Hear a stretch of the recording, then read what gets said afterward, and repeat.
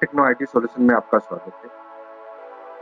आज हम आपको पीटीआरसी और पीटीईसी का रिटर्न कैसे भरते हैं उसके बारे में आज आपको बताने वाले हैं। पीटीआरसी और पीटीईसी का डिटेल्स वो क्या है, किस तरीके से काम करता है पीटीआरसी डाउनलोड सर्टिफिकेट आप डाउनलोड कैसे करेंगे, ये सब का वीडियो ऑलरेडी मैंने बनाए चुके हैं। जिसका डिस्क्रिप्शन में मैं आपको लिंक दे दूँगा, जहाँ से आप वो देख सकते हैं। आज के वीडियो में उसका रिटर्न कैसे भरते हैं, उसके ऊपर वीडियो में बना पीटीईटी और पीटीआरसी अलग अलग स्टेट का अलग अलग है।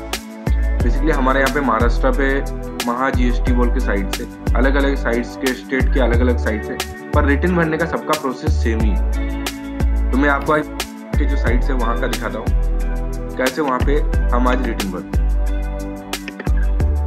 यहाँ पे Maha G S T dot G O V dot in बोल के साइट से ये साइट पे जाएँगे हम। और इसको सबसे पहले हम लॉगिन कर लेंगे। लॉगिन का जैसे ही करेंगे, हमको यहाँ पे ऐसा, अभी देखिए मैं लॉगिन ऑलरेडी था इसीलिए लॉग आउट कर दिया। ये आपके पास पैनल आएगा। यहाँ से आपको पहले लॉगिन करना है खुद का। लॉगिन आईडी कौन सा पिन नंबर होता है?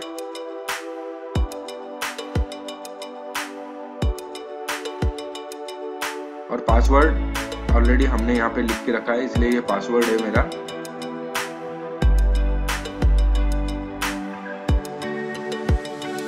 इसको मैं लॉगिन हो जाता लॉगिन होने के बाद रजिस्ट्रेशन यहाँ से आपका सभी डिटेल्स पता चलता है रजिस्ट्रेशन रिटर्न भरना है तो यहाँ पे ई पेमेंट रिटर्न बोलता हूँ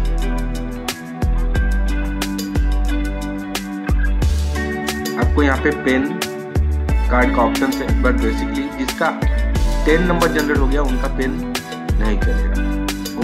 आपको तीन नंबर से आपको रजिस्टर करना पड़ेगा। तो मैं यहाँ पे देखिए मेरा पिन जो पेन नंबर है, उससे मैं यहाँ पे पहले लॉगिन होने की कोशिश करता हूँ। बेसिकली वो मुझे बताएगा कि आपका टीन नंबर जनरेट हो गया, इसलिए ये नहीं होगा। तो आपको कोई भी जो कार्ड है, आपका इसका टीन नंबर कहाँ से मिलेगा, वो भी मैं आपके वीडियो में बताऊँगा। तो टीन नंबर कहाँ से मिलेगा आपको?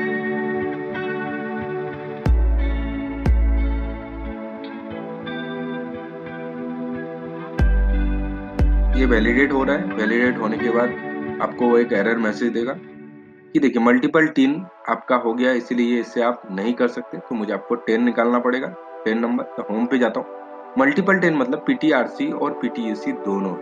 यहाँ पे एप्लीकेशन स्टेटस इसके वजह से मल्टीपल हो गया। यहाँ पे देखिए, दो टीन एक पीटीआरसी के लिए और पीटीईसी के लिए। तो यहाँ पे मैं एक को कॉपी करता हूँ पीटीआरसी को। और फिर से मैं यहाँ पे ई पेमेंट रिटर्न में जाऊँगा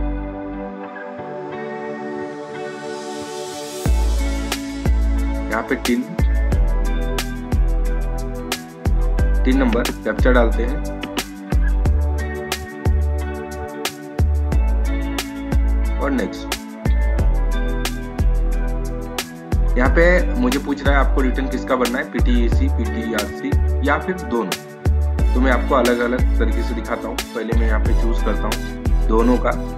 ऑटोमेटिकली फॉर्म आ गया form thirty two P T R C और पी टी कौन सा फाइनेंशियल ईयर का भरेंगे इक्कीस, बाईस, बीस, इक्कीस और अभी आगे का भी तो हम इक्कीस, बाईस चूज़ किया। तो देखिए, यहाँ पे अप्रैल से चालू हो गया क्योंकि तो वो इक्कीस, बाईस से बीस, इक्कीस का हम चूज़ करेंगे तो इसका अप्रैल, बीस से चालू हो गया। तो कौन सा महीने का आपको भरना है?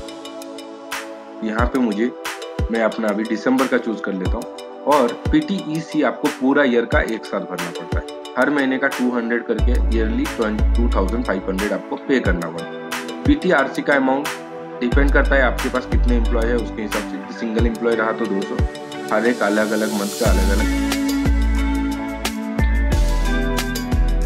यहाँ पे मैं दोनों पे टू टू हंड्रेड ले लिया और यहाँ पे आपका लोकेशन चूज़ करूँगा। जो लोकेशन होगा, नीचे मोबाइल नंबर है ऑटोमेटिकली या फिर आप मोबाइल नंबर पे नोटिफिकेशन बदलना चाहते हैं तो बदल सकते ऊपर में आपका टीम बेसिकली डिटेल्स होके आ गया।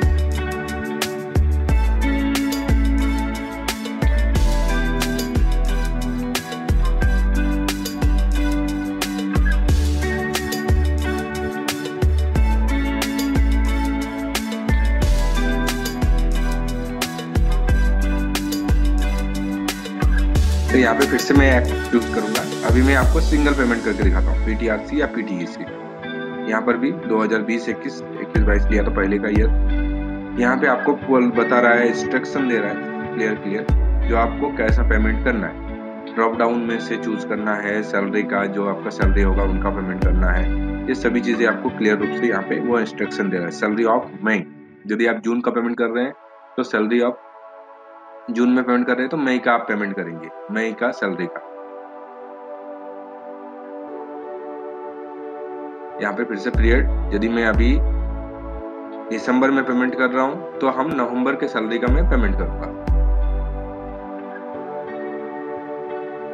फिर से लोकेशन मोबाइल नंबर आप चाहे तो चेंज कर सकते हैं। वो मोबाइल नंबर पे आपको नोटिफिकेशन आएगा। नहीं तो बाई डिफ़ॉल्ट जो पेमेंट लिंक में आपने रजिस्ट्रेशन में डाला था, वो आ जाएगा। या अलग अलग एग्री करेंगे। अलग अलग पेमेंट का गेटवे है एसबीआई वगैरह वगैरह तो आप यहाँ पे मैं एक पेमेंट का गेटवे चूज़ कर लिया। देखिए ऐसा इस तरीके से आपका चलान तैयार होगा। इसको चालान बोलते हैं, ये ड्राफ्ट कॉपी में। बेसिकली हमने पेमेंट नहीं किया, इसलिए ड्राफ्ट में। जैसे पेमेंट कर देंगे, ये आपका फाइनलाइज कॉपी हो जाएगा। इधर साइड में आपको ड्रॉप डाउन मिलेगा यहाँ से मेक पेमेंट का ऑप्शन मिलेगा। मेक पेमेंट करते हैं, यहाँ पे नेट बैंकिंग या डेबिट कार्ड दोनों से ऑप्शन से पेमेंट होता है। यहाँ पे नेशनलाइज गवर्नमेंट के ही सिर्फ़ बैंक है। वो एक ध्यान में रखें, उसमें आपको अकाउंट होना चाहिए। उससे ही आप पेमेंट कर सकते हैं। यहाँ देखिए, ये सभी बैंक आपके पास अवेलेबल है। जैसे I D F C I C I C bank Axis bank ये सब बैंक यहाँ पे अवेलेबल नहीं है तो इससे आप पेमेंट नहीं कर सकते। स्टेट बैंक ऑफ़ इंडिया में चूज़ कर लिया, यहाँ पे कैप्चा चूज़ कर लिया।